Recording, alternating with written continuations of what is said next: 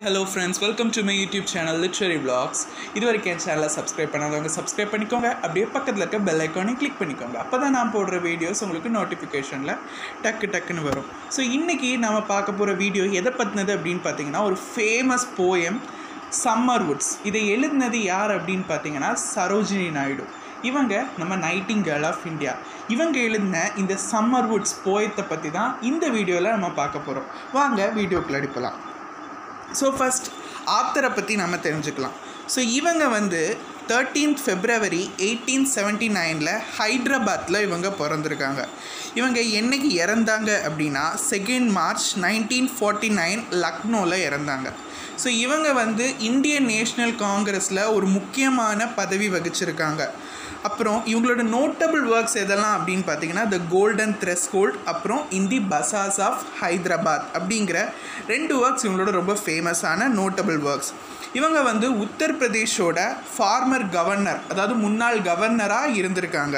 அப்புறம் இவங்களை வந்து இந்தியாவில் உள்ளவங்க எல்லோரும் எப்படி கூப்பிடுவாங்க இந்தியாவில் உள்ளவங்க வெளியே உள்ளவங்களும் எப்படி கூப்பிடுவாங்க அப்படின்னா நைட்டிங்கேல் ஆஃப் இந்தியா அப்படின்னு இவங்கள கூப்பிடுவாங்க சம்மர் வுட்ஸ் பற்றின கொஞ்சம் கொஞ்சம் பாயிண்ட்ஸை நாம் இதில் தெரிஞ்சுக்கலாம். ஸோ சம்மர் வுட்ஸ் இது வந்து கோல்டன் த்ரெஸ்ஹோல்ட் அப்படிங்கிற புக்கில் ச நைன்டீன் நாட் ஃபைவ்ல இது வந்து பப்ளிஷ்ட் ஆகிருக்கு இது வந்து எதை நரேட் பண்ணுறாங்க அப்படின்னா அவங்கள சரோஜினி நாயுடோட ஏக்கங்கள் அதாவது இந்த எவ்ரிடே வாழ்க்கை அதாவது அந்த பிரிட்டிஷ் லைஃப்பில் பிரிட்டிஷ் ஆட்சி செஞ்சுட்டு இருக்கிற அந்த காலகட்டத்தில் அவங்களுக்கு ஏற்பட்ட கஷ்டங்கள் அவங்க வந்து அதிலிருந்து வெளியே வரணும்னு அவங்க ரொம்ப ஏங்கி இந்த போயத்தை எழுதியிருக்காங்க.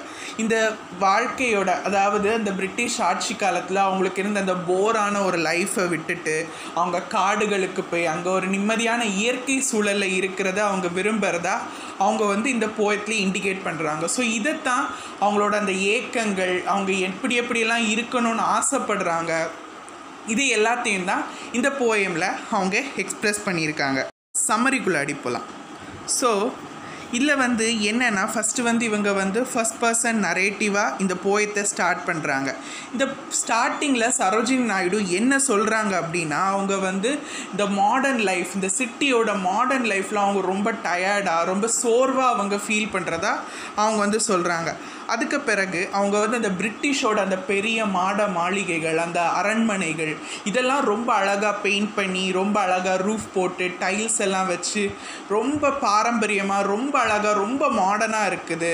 பட் இது எல்லாமே ஆர்டிஃபிஷியலாக இருக்குது. இது எதுவுமே உண்மை கிடையாது அப்படின்னு அவங்க சொல்கிறாங்க அதுக்கு பிறகு அவங்க அந்த ஊரில் நடக்கிற அந்த பிரிட்டிஷில் நடக்கிற அந்த கலவரங்கள் அப்புறம் அந்த ஃபெஸ்டிவல்ஸ் திருவிழாக்கள் அப்புறம் நிறைய நிறைய ஃபங்க்ஷன்ஸ் இது எல்லாத்தினாலேயும் அவங்க வந்து ரொம்ப வெறுத்து போய் அவங்க லைஃப் இதெல்லாம் ரொம்ப பழக்கப்பட்டு பழக்கப்பட்டு ஒரு நாளாவது நிம்மதியாக இருக்கணும். போ எப்போ எங்கே திரும்பினாலும் போர் எங்கே திரும்பினாலும் சண்டை எங்கே திரும்பினாலும் போராட்டங்கள்னு இப்படி எல்லா இடத்துலையும் இருக்கிறத விட்டுட்டு நான் ஒரு நாளாவது சந்தோஷமாக நான் நிம்மதியாக என் லைஃப்பை நான் ஸ்பெண்ட் பண்ணணும் அப்படின்னு அவங்க ஆசைப்படுறாங்க.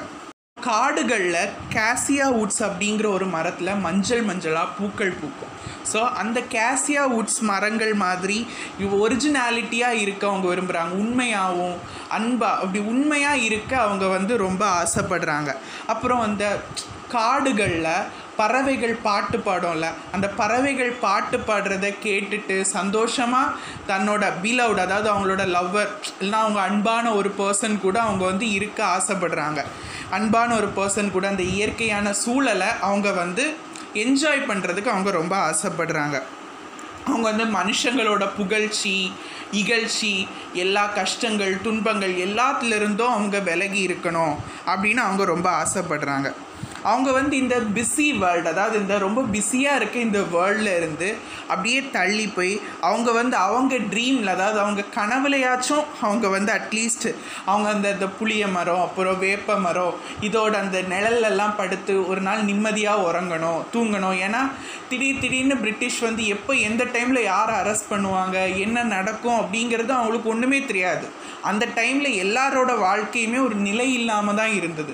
ஸோ அந்த நிலை இல்லாமல் இருக்கிற அந்த வாழ்க்கையில் இவங்க வந்து நிம்மதியாக ஜாலியாக ஒரு நாள் லைஃப்பை நம்ம என்ஜாய் பண்ணணும் அப்படின்னு அவங்க வந்து ரொம்ப ஆசைப்படுறாங்க. அப்புறம் அந்த ஜாஸ்மின் அதாவது மல்லிகை பூக்களோடு அவங்க அவங்கள பிணைச்ச அந்த மல்லிகை பூவோட வாசத்தோடி அவங்க வந்து அவங்க வந்து இருக்கணும் அப்படின்னு அவங்க ஆசைப்படுறாங்க. அதுக்கு பிறகு மரங்கள்லேருந்து செய்யப்பட்ட புல்லாங்குழல் இருக்குது தெரியுமா? ஃப்ளூட்ஸ் இந்த ஃப்ளூட்ஸில் இருந்து வர இசைனால் பேனியன் ட்ரீ இருக்குது தெரியுமா? அந்த பேனியன் ட்ரீயில் அவங்க வந்து பேனியன் ட்ரீல இருந்து ஒரு ராஜநாகம் அதில் கீழே படுத்திருக்குமா? அதுவே எழும்பி அந்த புல்லாங்குழல் இசைக்கு ரொம்ப சந்தோஷமாக அது வந்து இருக்குமா? அந்த மாதிரி அவங்க அவங்க பிலவுட் கூட அதாவது அவங்க லவ் கூட அவங்க இருக்கணும் அப்படின்னு அவங்க ஆசைப்படுறாங்க. அதுக்கு பிறகு அவங்க வந்து இந்த அங்கே பூல்ஸ் குளங்கள் ரிவர்ஸ் எல்லாம் இருக்கும்ல அங்கே வந்து சிறுத்தை புலி எல்லாம் வந்து தண்ணி குடிக்கும். ஸோ அந்த மாதிரி இடத்துல அவங்க குளிக்கிறதுக்கும் குடிக்கிறதுக்கும் இருக்கிறதுக்கு அவங்க ரொம்ப ஆசைப்படுறாங்க. அவங்க வந்து அந்த ஆழமான காடுகளில் அவங்களோட லைஃப்பை அவங்க வந்து ரொம்ப ஜாலியாக என்ஜாய் பண்ணணும் அப்படின்னு அவங்க ரொம்ப ஆசைப்படுறாங்க. இப்போ வந்து அவங்க அலோ அதாவது தனியாக இருக்கும்போது அவங்க வந்து அந்த லார்ட் கிருஷ்ணா அப்புறம் கிருஷ்ணா அப்புறம் ராதா இவங்களோட அந்த ஒரு கம்பெனி அவங்க இருக்கும்போது அவங்க எவ்வளோ ஹாப்பியாக எவ்வளோ சந்தோஷமாக இருப்பாங்களோ அதே மாதிரி ஒரு டிவைன்னஸோட ஒரு பக்தியாக அவங்க ரொம்ப சந்தோஷமாக இருப்பாங்க. ஸோ கடைசியாக இந்த போயிட் இதை எப்படி கன்க்ளூட் பண்ணுறாரு கன்க்ளூட் பண்ணுறாங்க அப்படின்னா அதாவது இந்த காம் நேச்சர் அமைதியான இந்த கார்டில் அவங்க ஒரு டிவைன் மெடிடேஷன் அதாவது ஒரு பக்தி நிறைந்த ஒரு ஆழமான பக்தியில் அவங்க வந்து ஜாலியாக அவங்க லைஃப்பை என்ஜாய் பண்ணணும் அப்படின்னு அவங்க ரொம்ப ஆசைப்படுறாங்க. இந்த வீடியோ பிடிச்சிருந்தா லைக் பண்ணுங்கள் ஷேர் பண்ணுங்கள் கமெண்ட் பண்ணுங்கள் மறக்காமல் எங்கள் சேனலை சப்ஸ்கிரைப் பண்ணுங்கள் தேங்க்யூ